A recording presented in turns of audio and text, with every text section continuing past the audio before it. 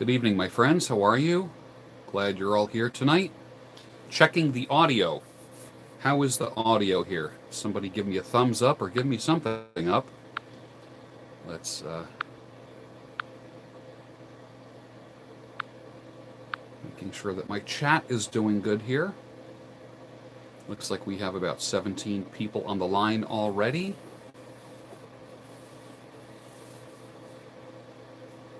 John Williams is in the house. John Williams from the Harrisburg area of Pennsylvania.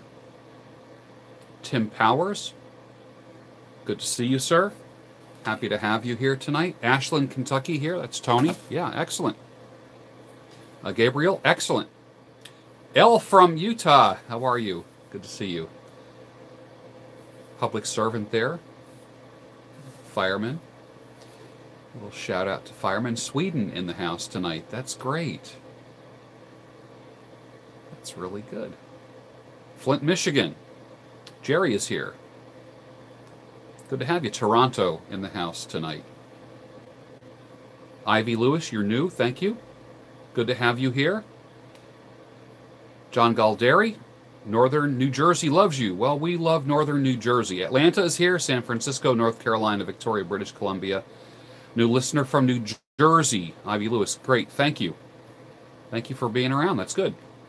Boynton Beach, Winnipeg, Calgary, Spokane, Washington, Boston, Massachusetts. A lot of people in the house tonight. Wow, nice representation. Nice representation. Cuyahoga Falls, Ohio, East Tennessee, Hartford, Connecticut. Get uh, AMS. I would love to get AMS on here. I think he would be good. Chicago, Finland, Australia, down under tonight. So we have an international crowd here. Hartford, Connecticut. We're going to wait till we have uh, a critical mass of people here. We did this, what, about a week ago? Georgia, South Carolina. Chad, we are here because you're awesome, man. And I'm here because you are awesome, man. Guyana, wonderful. I have a, a good friend from Guyana. Owns a restaurant. Chicago is in the house. This is part two tonight Nicholas is here. This is great working night and also suffering from a breakup. Yes. You know, it's uh, Dartmouth, Massachusetts, Guatemalan coffee and chopsticks ready to go. All right. It's got the chopsticks going. A lot of people do suffer. Boston, Bombay, New York. Bombay, New York. uh, let's see. Well, hello back there to you. That's wonderful. Uh, Salamanlakam. Yes. Yes. And also with you. Brazil. St. Petersburg, Colorado in the house tonight. I'm actually on my phone, so this is actually doing pretty good. I hope I don't go out of focus here. Out being active tonight, my best everybody, and to you, George. Excellent. Thanks, Tad. Thanks for the beard vids. Fantastic. That's good. I'm glad you like it. Going through a divorce. Yeah, South Dakota is in the house. We're not talking about uh, anything uh, about women's rights or, or anything like that. We're not doing that. We're going to be going live in a little bit here, and I'm going to be talking about Tampa, Florida. Pain meds and self administered IV and a love for the Sultan. There we go. Oh, that's funny. That's good. Broken heart, yes. Minnesota. I'm not in the King of Prussia Mall. I haven't been in the damn mall in two years. Text from the 21 convention. It's a good friend of mine. Hello, old man. Well, hello, young man or young woman. I don't know, but that's okay. Modesto, California is here. Well, we will get started right now. Uh, this is part two of 50 things that you will feel after a breakup. Stockton, California is in the house. 50 things that you're going to feel after a breakup or a divorce and what you can do about it. We did part one a little over a week ago, Golden, Colorado. I don't drink coffee at night. No. I don't drink coffee after 11 or 12. Philadelphia, PA, Long Island, New York is in the house. Had a nice day at the salon, came home, took a nap. Katie from Washington State. Yeah, we're not talking about uh, MGTOW. We're not talking about Red Pill. We're not talking about Manosphere. We're not talking about anything like that, as you know. I like to say that the first rule of Red Pill and Manosphere and all that stuff is you don't talk about those things at all. It's something that you are. It's not something that uh, that we just constantly talk about. You'll see in the background. In the back here, I rule number one First, do no harm. When you go through a breakup or a divorce, do no harm to yourself because there are people that are programmed to self destruct when they encounter obstacles. Going through a breakup or a divorce is an obstacle. Your life isn't going, ah, let's get this party started. John Williams with the super chat. Kuwait is in the house tonight. That's awesome. The day is going fantastic. So uh, let's see. I look like I could use a nice uh, Especial. I don't even know what that is, but I'll take your word for it. Hit that like button. Absolutely. So here, here's the thing uh, that we want to talk about. Some people are wired to self-destruct when they hit obstacles. And one of the, like for instance, there's people that get bad news, and what do they do? They reach for the Southern Comfort. That's the first thing they do. And they finish it. They drink half of it one day, the other half the next day. I sip a little bit at a time. If you're enjoying a distilled spirit tonight, then let me just toast you first before we do anything.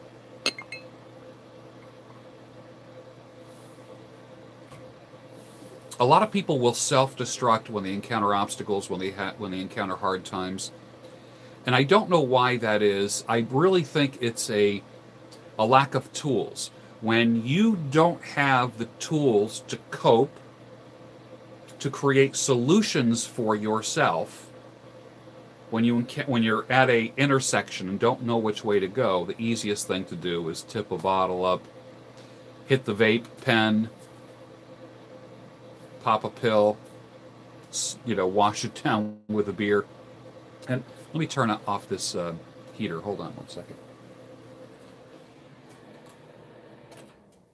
There we go. I feel like I'm sitting at an airport with the noise from that fan. what we want is that's called self medication. And a lot of people medicate their pain to try to take them away. Obviously, having alcohol and drugs takes you away. There are other drugs, quote unquote, drugs. Another drug when you go through a breakup is other people. Sex can be a drug. It can be something that we go through. Um, we end up inviting people into our life to change the way we feel. So even a seven second orgasm can be a drug. So we seek out people to do that. And we end up going through a lot of people. That's why a lot of people uh, have a revolving door when they go through breakups and divorce. And what I'm not going to do is tell you to not do that because that's what I did. 15 years ago. I did say that I didn't touch alcohol during the first year after my divorce. So the and I remained uh, sober. Um, and I don't have an alcohol problem. I don't have a drug problem, but I can see where going through a breakup or divorce or that kind of pain or overeating or an overindulgence in something can lead to excessive use and excessive behaviors. So, uh, we're not talking about red pill. We're not talking about uh, MGTOW at all. That's that's a whole nother discussion. That's a whole nother channel. We don't do that. The first rule of red pill is you don't talk about the red pill. You live the red pill. You don't talk about it. And I will bring a voice of balance to the manosphere uh, as a result of that, and will uh, drive some people away. That's okay. Um, I, do, I certainly don't mind that. I want people who are rational in their thinking and rational in their responses to pain. And that's what we're talking about tonight. Okay, so save your other questions for another time. 50 things that you will feel after a breakup and what you can do about it. We went through the first uh, 10 or 11 last time. This time we're going to talk about a few more. Lack of motivation. Lack of motivation you don't want to get to the gym. You don't want to iron your clothes. You don't want to. Uh, you take shortcuts. You pay less attention to yourself, and you're motivated. Um, you're not motivated to do those things. And that's very hard for a lot of people. To to be able to, like they say, the signs of clinical depression are uh, a loss of interest in things that you used to be interested in. And I'm not a, I'm not one, I'm not a mental health professional anymore. I used to be. And I don't want to talk about mental health issues. I don't think that this is the place for it. I want to give you practical tools because I believe a lot of times what people call depression truly is discouragement. Uh, whereas depression, the answer is different types of therapy and possible medications. But discouragement, the answer for discouragement is what? Somebody answer. What is the answer? What is the solution for discouragement? I'm looking for one word. What is it?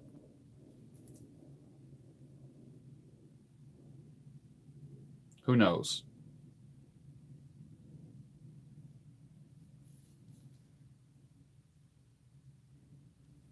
The answer for discouragement, think about the word discouragement.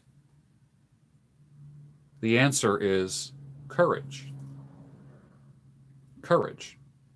Think about it. When you are going through a dark time in your life, there's a a feeling where you don't have the courage to face the day. The simplest thing, the simplest tasks seem hard. Ask anyone who's there. Some of you are there right now. Some of you have been through it years ago. Some of you are a week into it, a day into it, a month into it, a year into it, into that type of discouragement. And it's hard to get up in the morning and get a good shave or groom yourself or make yourself look good and put creases in your clothing. I iron my clothes every day. So for me, if I'm not ironing, then you know there's something wrong.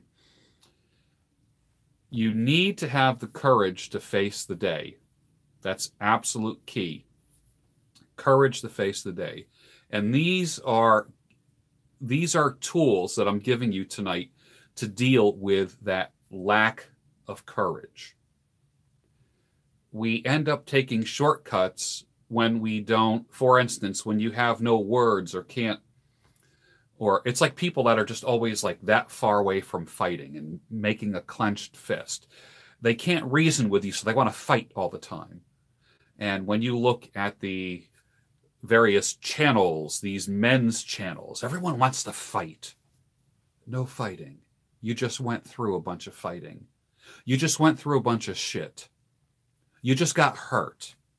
Don't be a heartbroken heartbreaker.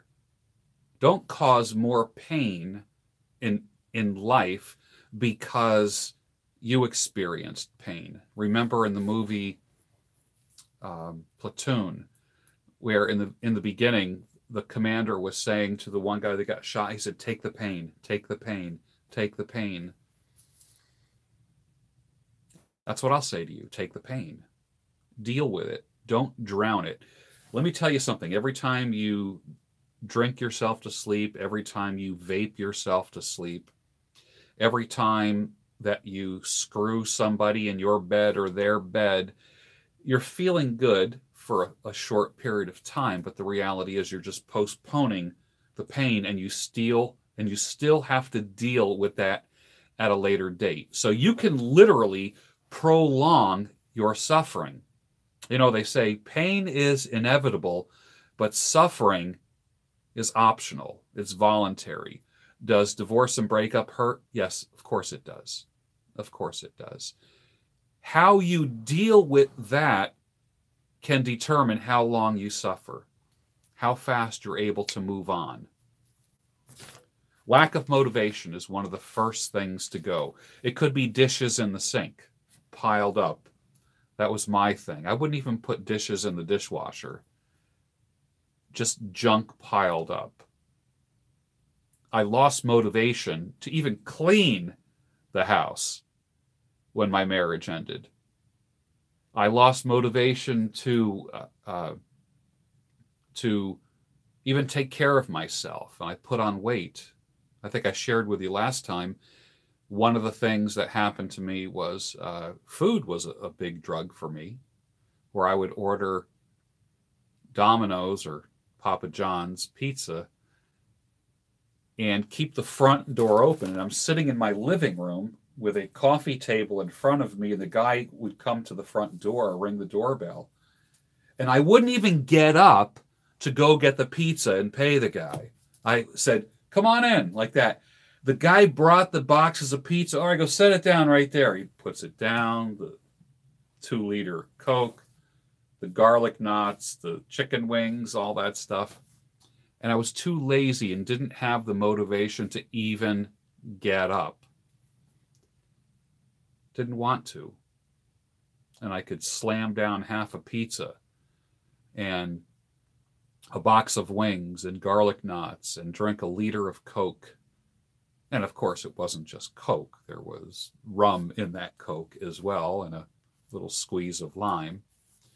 So, lack of motivation to even take care of yourself. So, self care disappears when you're going through pain. This, this chat will be saved. Number 13, going through the motions of everyday life. You know you have to go to work.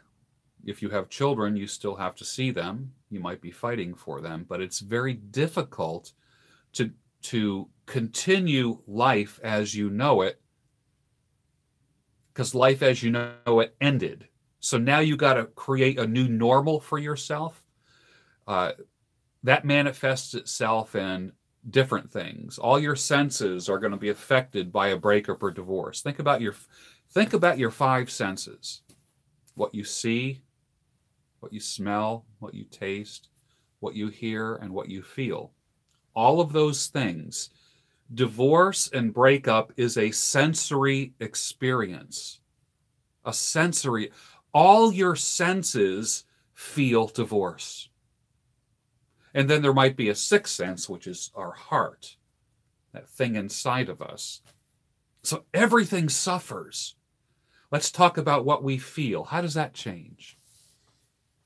You're walking through the kitchen and your partner's in the kitchen making dinner or preparing something, or they're there. You walk by, you just brush by their back, their bottom end a little bit, and put your hand on their shoulder and give them a kiss that's no longer there. There's no one to touch. You might smell perfume or hand lotion, or, or if there's a woman watching this right now, uh, a man's cologne. You no longer are smelling that. That changed. What you what you see. There's an absence in the house or the apartment when that person is gone or when you go and get your own place. That's difficult. So now there's an emptiness there. Something is missing. Something is missing. I just need to keep going back to this right here. Rule number one first, do no harm. First, do no harm to yourself. Secondly, remember what I taught last week. First, do no harm. Secondly, do only good for yourself. So maybe breakup and divorce is a good time to start working out and going to the gym. And then you know if you you'll know automatically if you're overdoing it. Most people, whenever a, a man sees a woman on a dating site and she's real thin and she's newly separated or newly divorced, uh, she's probably anywhere between 10 and 50 pounds lighter than she usually is. Women pretty much starve themselves after a breakup. Now, men lose weight too because you don't have motivation for eating, but women do it for different reasons. So I believe the genders do. Uh, I am I'm a firm of firm belief that the genders are different. I don't believe they're the same. Men grieve differently than women do. It's a reality. Men commit suicide five times more than women. It's a fact. Men are usually hit blindsided more than women are when it comes to divorce and breakup. Usually, by the time a woman leaves, she has thought about it for months, maybe even years, and planned her getaway. And she also went on a honeymoon, like an anniversary weekend with you. I'm speaking to the men now. I'm not trying to uh, turn anyone off. And this is not a woman hating session. It's not a man. It's not a male supremacist session. This is not a MGTOW session or a anything like that. We're, we're not using that terminology. That glossary is out the door. We don't talk about that on Friday nights. Not on this channel. So what happens is your senses, everything. For instance, if you are in a relationship where your partner did a lot of cooking and you're no longer in that relationship, your sense of taste is even sensing the breakup. You're, t- you're not tasting what they made anymore. You're not seeing them in your house anymore. You're not smelling them. You're not feeling them. The house is quiet. I had to deal with a quiet house, and that was really difficult. Now, of course, oh, thank you for the super chat. Thank you very much. The house is now quiet. Of course, now I am, you know, I am the stable stoic, and I'm the guy that loves solitude. I love spending holidays by myself. I go hiking by myself on the holidays. Here it is a Friday night.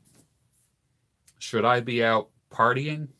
Well, actually, it's still a work night for me because for me, Saturday night is the end of my my Saturday night is like your Friday night because I work on Saturdays in the salon cutting hair.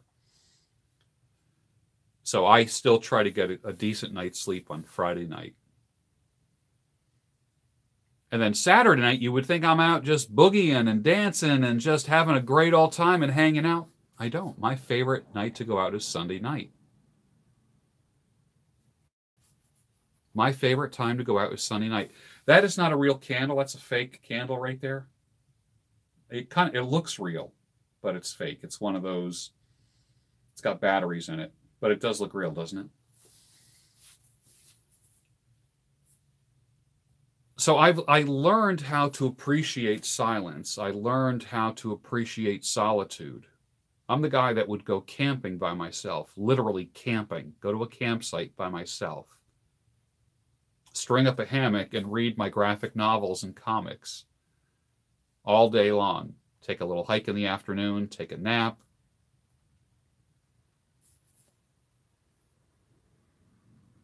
That's what I did. But it took years to be able to appreciate my own company. Here I am. I'm outside in the Van Gogh room. This is a a shed where I kind of created like a little man cave studio kind of thing where I do my broadcasts from and puff on a pipe and that type of thing and relax and read books.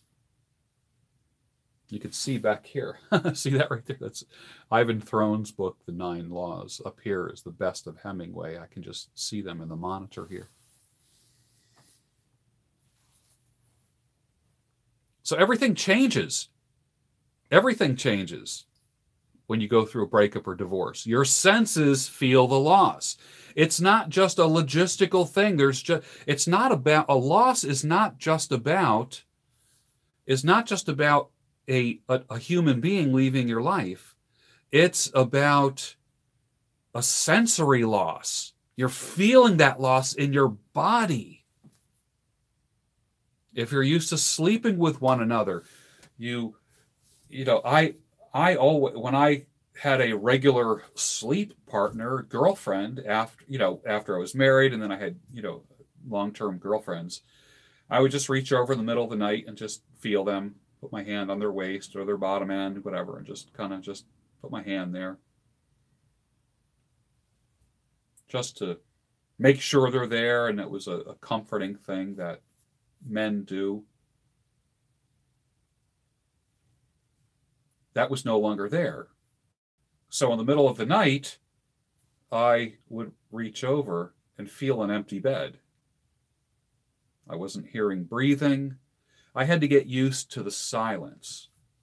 You know, when you're sleeping with someone on a regular basis, you you hear them breathing and it's comforting.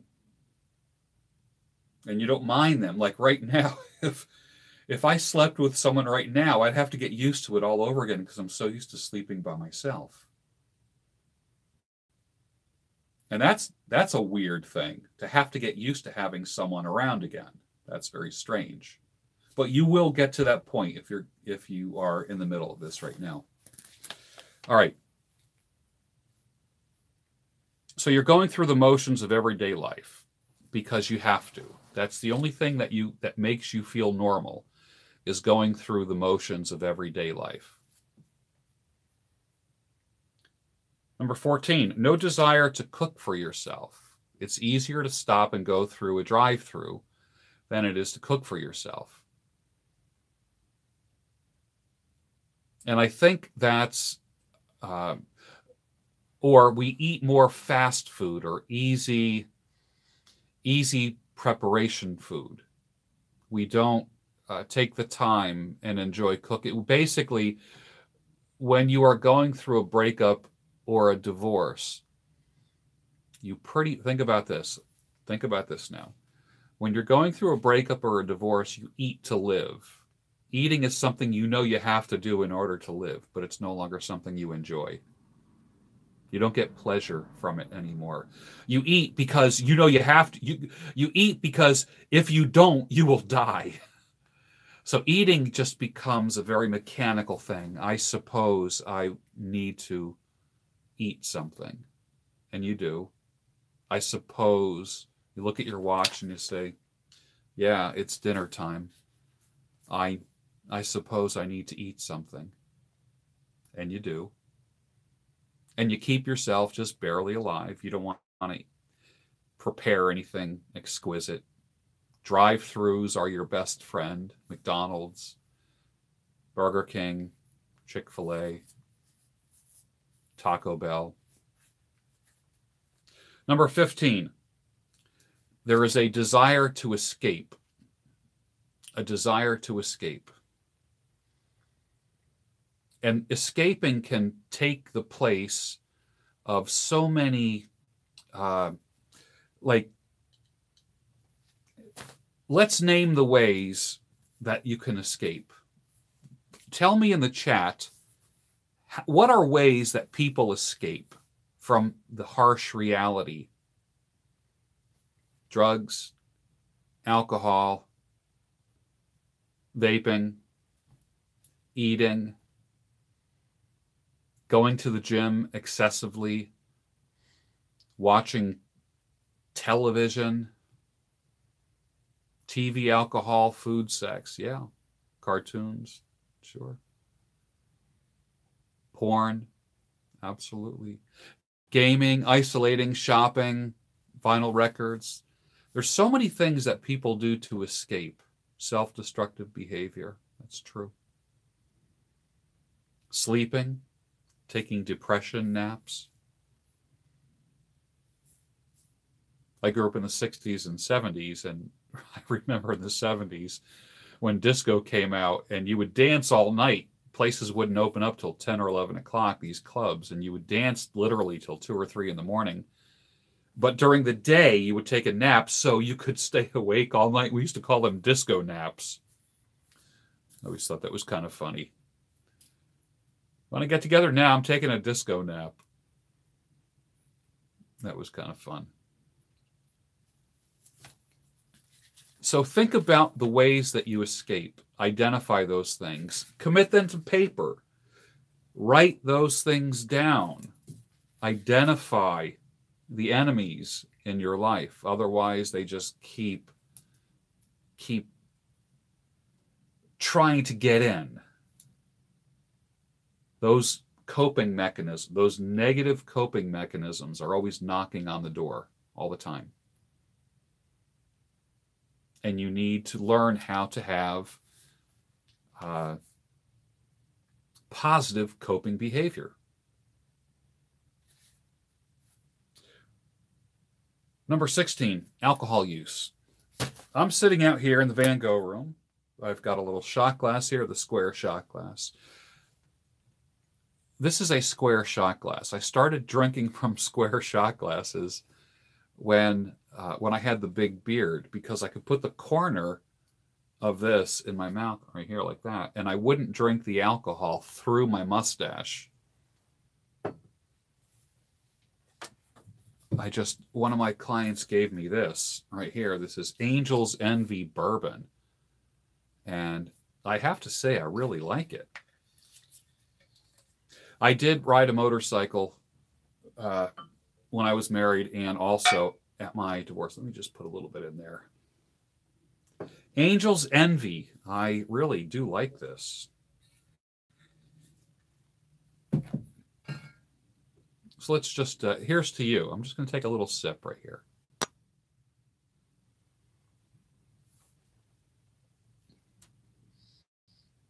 Lovely. Just absolutely lovely. Yeah. Alcohol use. Now, did you notice how much I put in the shot glass? You see that? What is that? Maybe a quarter of an inch in there? There's not a lot in there. Not even a half inch. I drink for taste, not for effect. And I learned that through my decision to not drink when I went through the divorce. And I think that just that alone taught me to be able to enjoy alcohol because prior to that honest to god i was i was filling up glasses like this just like literally not even mixed drinks just like this whole thing would be filled up right up to here. And i would drink it down to here and with one one raise of the glass be like dunk, dunk, dunk, dunk, dunk, dunk, like that. And i would literally drink a rocks glass with two two gulps. And that's sick. And the faster I felt it, the better. Because I wouldn't have to think about my pain. Let me take a little sip.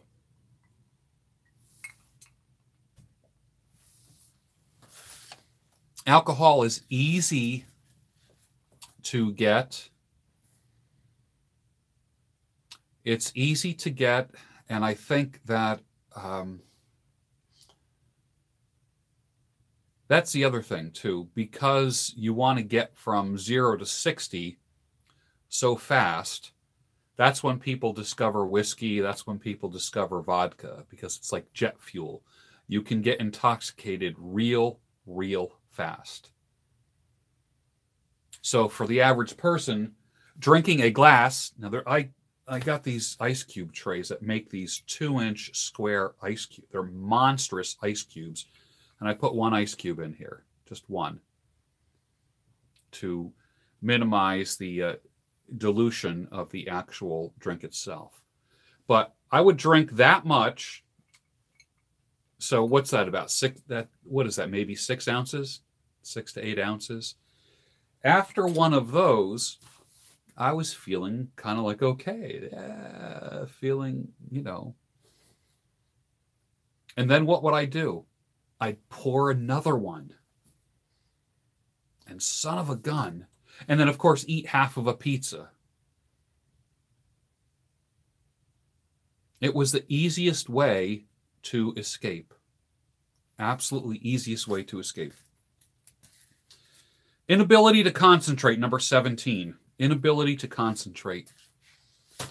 You're sitting at your desk. If you're a writer, breakup or divorce always gives you writer's block. Always. Always. You can't, you're not creative anymore.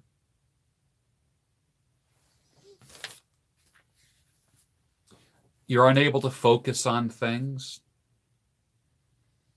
work on your car, anything that needs to be taken apart, where like you, you're take you're disassembling something and you have like the pieces of it together, and then you have all those pieces on a desk or on a table or um, and then you're like, oh crap, I got to put it all back together, and you're unable to concentrate to remember what went where.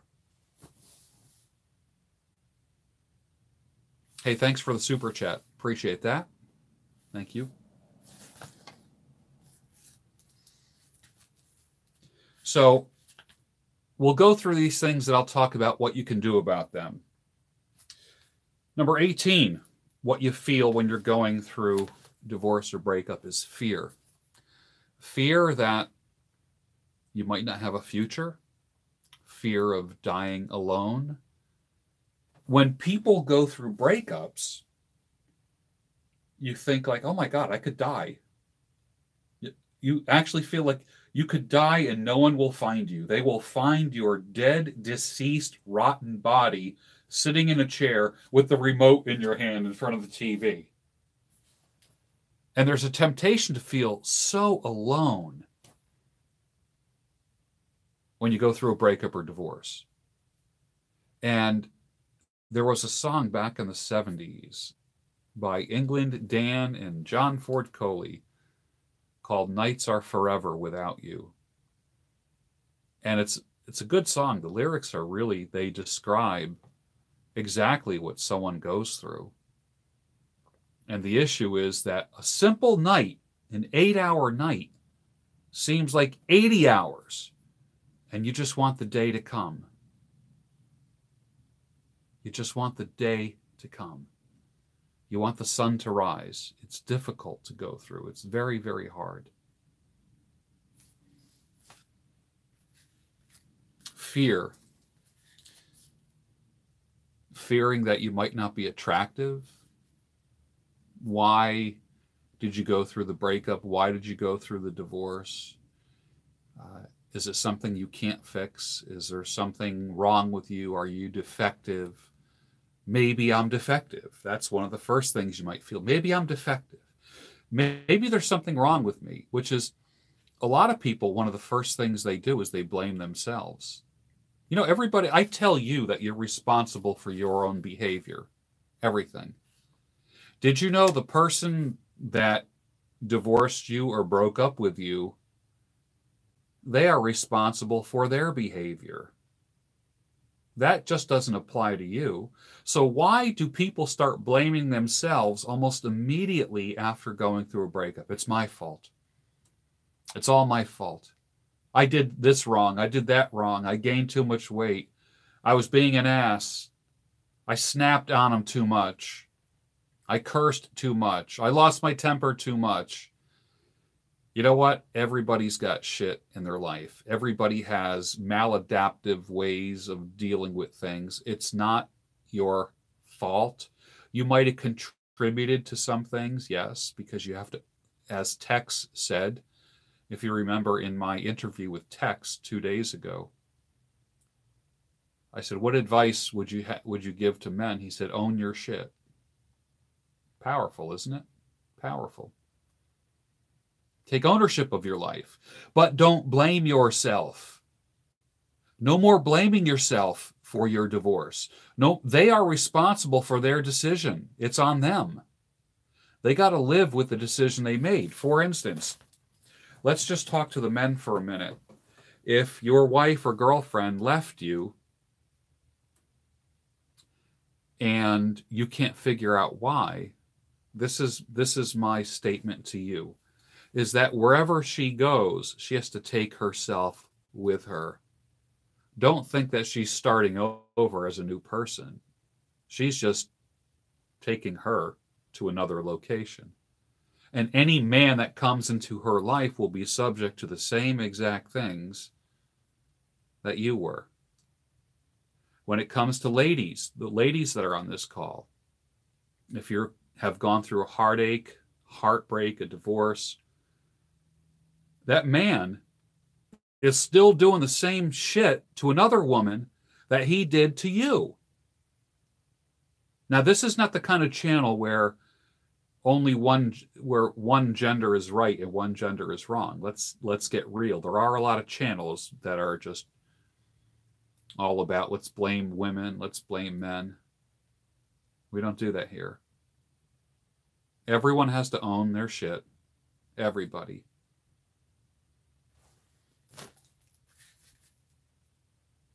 Number 19, increased web usage. Increased web usage. Usually that means social media. Rather than watching TV, we go on because TV is just, it's dead. It's not dynamic. It might be something to veg out in front of, but the reality is you're not interacting with it. And since, since divorce and breakup is a sensory experience that we talked about, you're looking to fill those senses with some type of stimulus. And social media is the perfect way to have stimulus, right? You can get almost immediate feedback for something that you post. You might do a selfie, okay? Post it. Let's say you're going through a breakup or divorce, you don't know why, having a hard time. You decide, you know, you just want to do a selfie.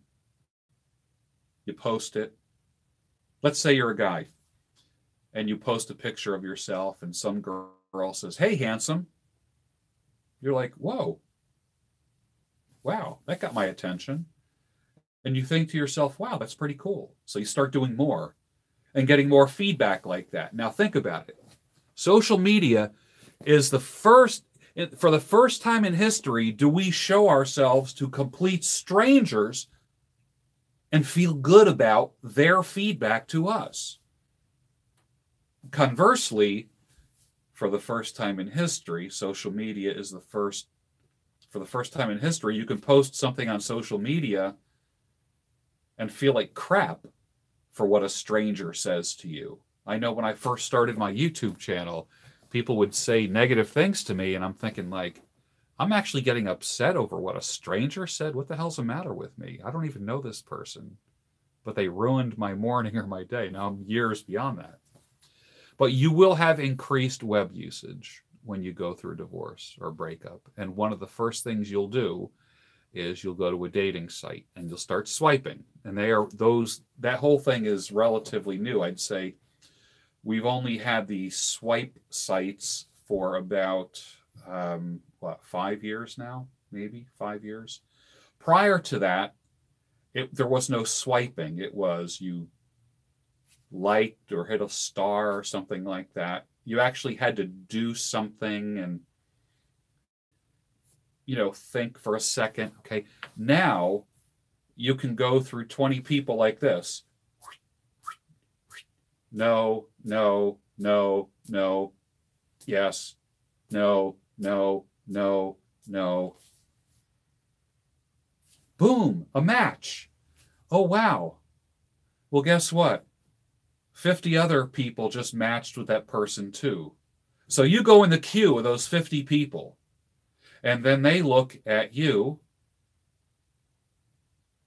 and they size you up and you might get together with them. You might have a date. You might meet for coffee. You might meet for a drink. You might have sex in the car. You might end up back at their house. They might end up back at your house. All kinds of. There's a million different things that could happen. And then you stop hearing from them. And what do we call that? You're getting ghosted. And then all of a sudden that really hurts because it reminds you of being rejected in your breakup and divorce. And know this that because of the swipe culture, you are always, I used to say, you are one mouse click away from being replaced. Think about this. You are one mouse click away from being replaced. Now it's even faster. You are one swipe away from being replaced. So, who's next in line? The next available handsome guy, the next av- available pretty girl. And who knows what people's motivation is when it comes to online dating? It, it's strange. It's created a whole new thing. I think most people meet that way nowadays. So there will be increased web usage. We're going to do 21. Uh, number 20, sloppiness. T21 Surfer. Thank you for the uh, super chat. That's awesome. Powerful. 14.99. Wow. Love it. Cool. Thank you very much. Yes, it is saving lives. It's Friday night, and there's people who are on this broadcast right now who are watching who are going through their very first breakup or a recent breakup. Some it could have happened yesterday, some it could have happened today, a week ago, a month ago. So it's still fresh. So practical teaching like this can give you some relief. Sloppiness. I am one who, when I am emotionally down, I don't take the time to fold my clothes. They go on a doorknob, they go on the bedpost, they go over the back of a chair at the end of the day. Day number two, doorknob, bedpost, back of the chair. Day number three, doorknob, bedpost, back of the chair. After a week, there's a whole week's worth of clothes hanging all over your room. You don't even know what is dirty and what is clean anymore because by the time you go to bed, you're not doing your routine. You know, when you go through a breakup, your night routine just comes to an end, right? You just drop your clothes and you go to bed, hoping and praying that you will fall asleep fast. So there is a sloppiness. I talked about dishes in the sink. I, I had a dishwasher. I was too lazy to even load my dishwasher. Now, what the heck is up with that?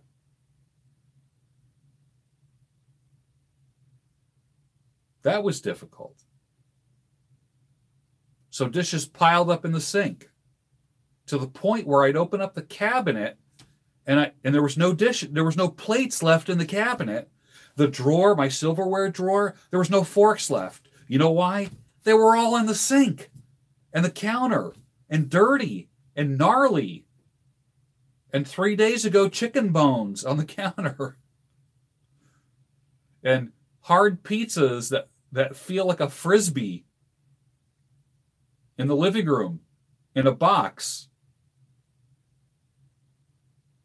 You know that's happened to you. You know you've done that. It's difficult. It's hard. I know it is. I, I feel for you.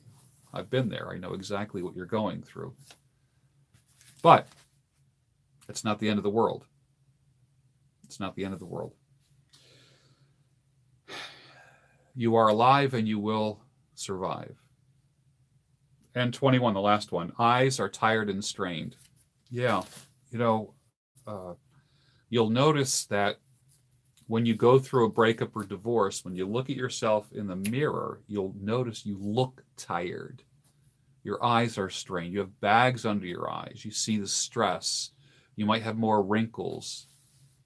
My ex wife used to say if she doesn't get enough sleep, that her face looks like a dish rag. I always thought that was funny. Her face looked like a dish rag.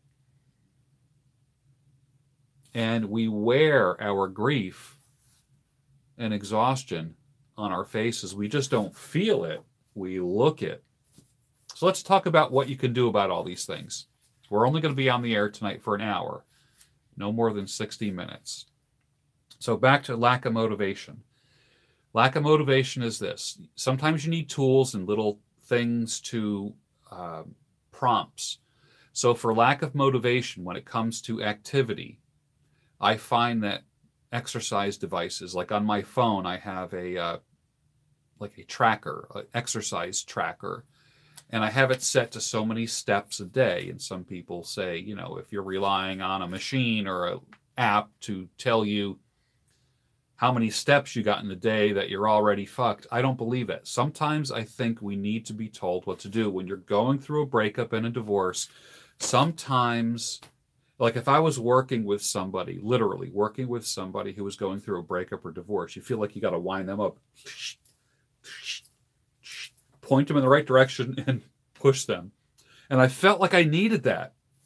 I wasn't a self starter when I went through it. Now, now think about this. This was like almost 20 years ago. I'm way beyond that now. I'm a different human being now, overcome so much of that. So, whatever tools you have, whatever tools you need to get your motivation back, whether it be alarm clocks, t- excuse me, timers, timers are good.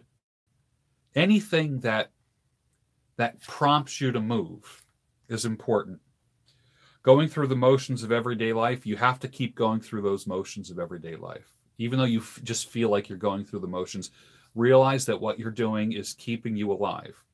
It's giving you meaning. The simplest things like getting up, showering, shampooing yourself, grooming yourself, for ladies, putting your makeup on, getting yourself going, looking good. Don't don't let people don't let people guess that you're going through something by the way that you look. They don't need to look at you and say you must be going through something. I used to wear all that on my sleeve. I looked like I was having a hard time. Keep them guessing. no desire to cook for yourself. Rather than going through uh, a drive through, which I said drive throughs are your best friend, what I'd like to see you do is make food for yourself. Make things. Uh, make a large pan of lasagna.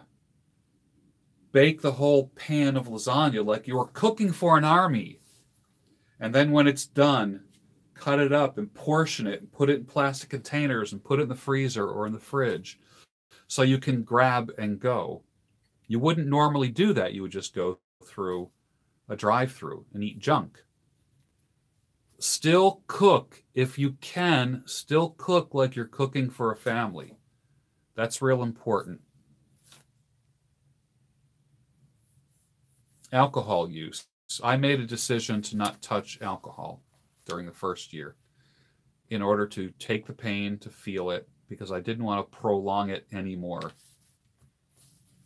So if you have to, if you're unable to control your drinking, like for instance, like, a, you know, here, here I am, look at this. All right. This is, this is my alcohol for the night right here. And, and this is still some Southern comfort that was left from a day ago. That's kind of funny. I just threw an ice cube in it. But I, I am a um, a rational person. I don't, I don't have alcohol. Does not run my life. I enjoy the taste of it. I don't enjoy the effect of it. Think about that. Better yet, don't drink at all and that's what I chose to not do after my breakup, after my divorce. Chose not to drink at all, not even touch alcohol, didn't even touch it. To the point, think about this. I went to my brother's wedding. Robert, thank you, sir. Do something physical for your health every day, hour by hour, day by day. Yes, sir. Robert, thank you. And thank you for that super chat. And that's a great comment right there. Hour by hour. Even if you have to set a timer for an hour, and do your best. Do no harm. Do no harm for an hour. How's that? Can you do no harm to yourself for an hour and do only good? I remember at my brother's wedding, I will never forget, I was uh, probably six months into my divorce and at my brother's wedding, I didn't even toast with champagne. I toasted with water. When everyone, you know, raises their, when everybody raises their glass up to toast the, the couple, I toasted with water. I couldn't think of a I couldn't think of a better reason to to drink than being divorced. What a great reason to drink. What a great reason to lose yourself. But I wasn't going to do it. I'm committed to that. And it's not like the day after the one year of not drinking that I went out and got blasted or drank a half a bottle of whiskey. I didn't do that either because I was so used to not drinking. Inability to concentrate. So, what I did was rather than like I'm a great multitasker, what I did was I focused on one thing and one thing only. So, for instance, here's an example you do your laundry, and after you take the clothes out of the dryer, you dump your clothes on the bed, right? And a lot of people would just pick through their clothes and and pick them as they need them. I made sure that if I took clothes out of the dryer, dumped them on the bed, that I was going to that I was literally going to finish folding all those clothes because I had such a lack of concentration, I wasn't even able some days to finish folding my clothes. And I would just like throw them on the floor and then pick underwear off the floor and go, okay, I didn't wear this. This is the underwear that I'll wear today. It got to the point, and then when I went to bed at night, just like throw my clothes on. It got to the point where I couldn't even tell which clothes were the dirty ones, which ones were the clean ones. So, a big accom- what's a big accomplishment? Let's let's talk about what are big accomplishments. Losing 50 to 100 pounds, getting a master's degree, getting a PhD, getting a first home mortgage. Think about that, right? Those are big accomplishments. When you are going through a breakup or a divorce, you know what a big accomplishment is? Doing your laundry, getting a good shave in, folding your clothes, cooking a meal for yourself. It gets down to as basic as simple items of self care when you're going through a breakup or divorce. Make your bed. Exactly. Fear. Fear. What can we do about fear? Uh, fear is one of those things I heard uh, one person say many years ago fear is false expectations appearing real. And I've always said that action cures fear. The biggest way to to defeat fear in your life is action, massive action.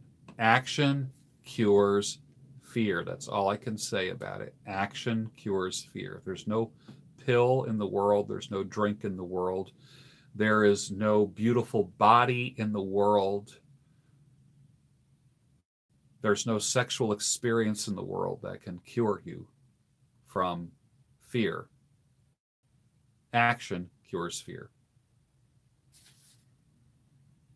Increased web usage. Set a timer. Let's go back to that timer thing. If you're on the web, just on social media, if you literally have to set a physical timer, turn it to 30 minutes or 60 minutes, when that alarm goes off, you turn off the laptop. You step away from the computer. Same thing with television. No falling asleep in front of the TV on the on the sofa. No. No, no, no, no, no. You sleep in your bed. You turn the TV off in your rec room, your living room, wherever you watch television, and you go in your room. Now, I know some people that have to have their TV on in order to go to sleep. That would drive me nuts. Learn to sleep without without noise. People who need noise, who need that sensory experience, are telling me unconsciously that they're not done grieving yet because they're trying to fill the quietness of their house. They're trying to replace the noise that used to be there with the spouse or the girlfriend or the boyfriend that left. and they can't stand the quiet. So, if that means you have to have one hour of quiet time in your house with no TV, no radio, no nothing, then do it. And do that for an hour a day for a week. The next week, you might do two hours a day. It takes time. I'm kind of a, uh, what you would call it. For me, I learn by immersion, which means I have to do it all at once. So I don't gradually build things up. I just do it. And I found that works for me. And everybody has their own learning style. Eyes tired and strained.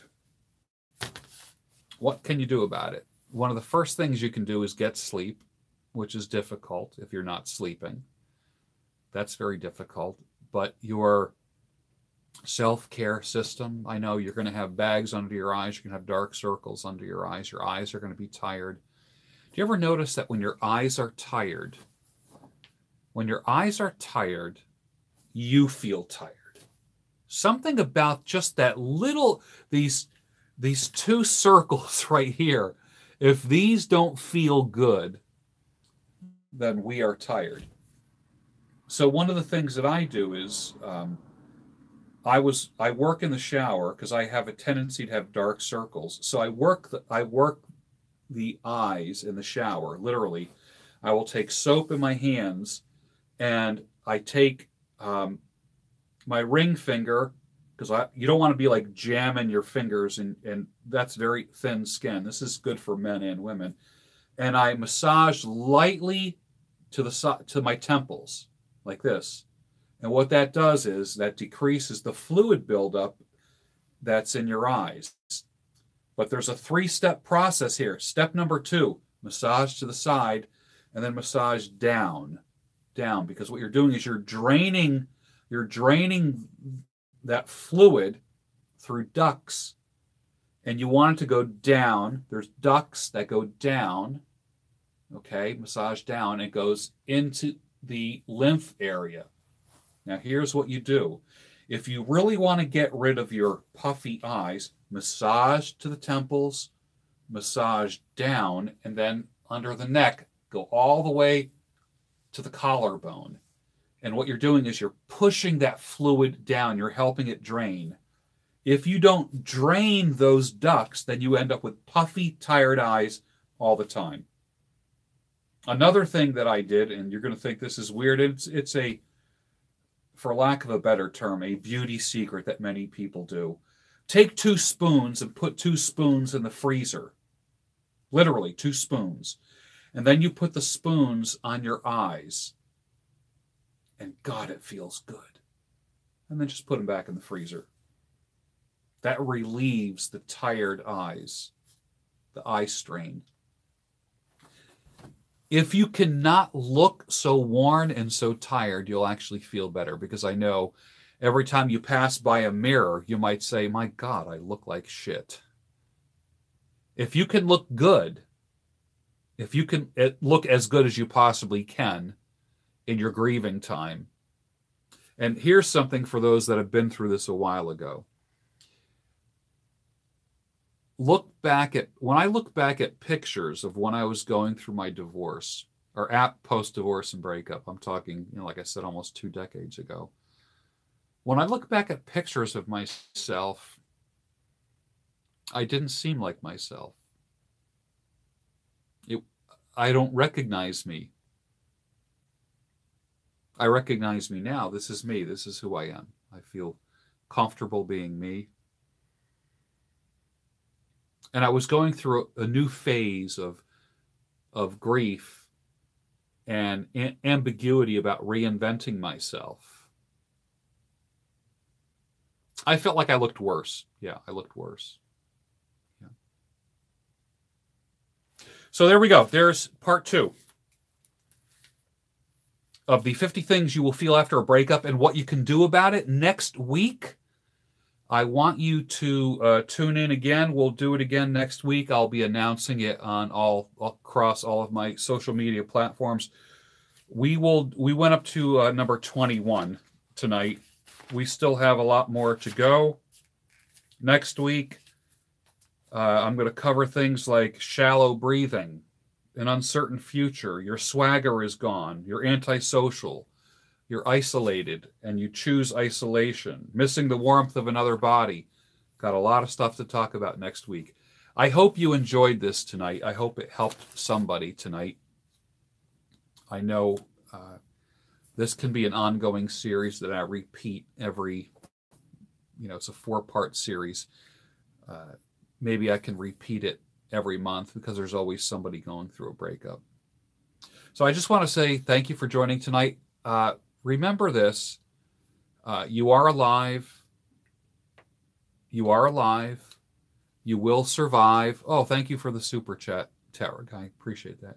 You are alive and you will survive. And this is in my series called Surviving and Thriving After a Breakup. It's not just a matter of surviving. You want to get back, not to what your old people say, I just want to get back to my old self. You don't want to get back to your old self. What you want to do is be better than your own self. And I can't think of a better platform.